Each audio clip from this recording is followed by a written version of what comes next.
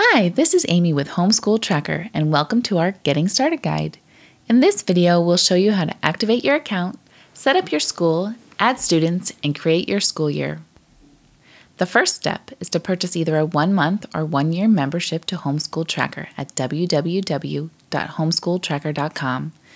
After purchasing, you'll receive an email with an online activation code. Click the link in the email to activate a new subscription. Fill out the form and choose your desired username and password.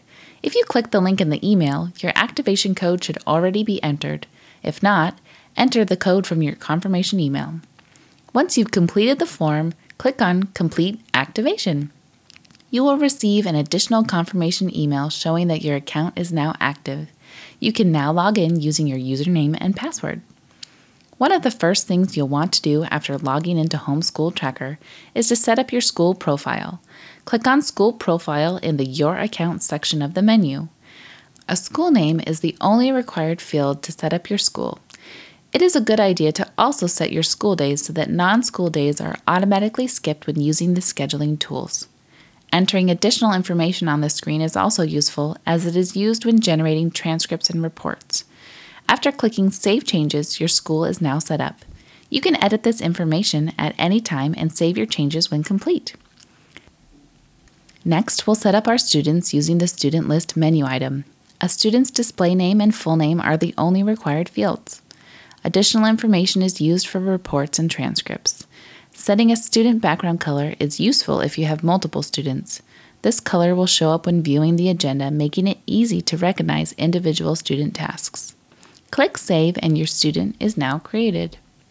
For most users, the next thing we want to do is set up our school year and terms. This step is optional, but recommended since setting up your school year will help set limits and definitions in Homeschool Tracker. This is useful in tracking the required number of days needed for a school year and absolutely necessary for generating most reports, transcripts, and recording attendance. You can do this by clicking on School Year's Terms in the Manage List section of the menu. To add a new school year, select Action and click on Add. Name and start end dates are the only required fields.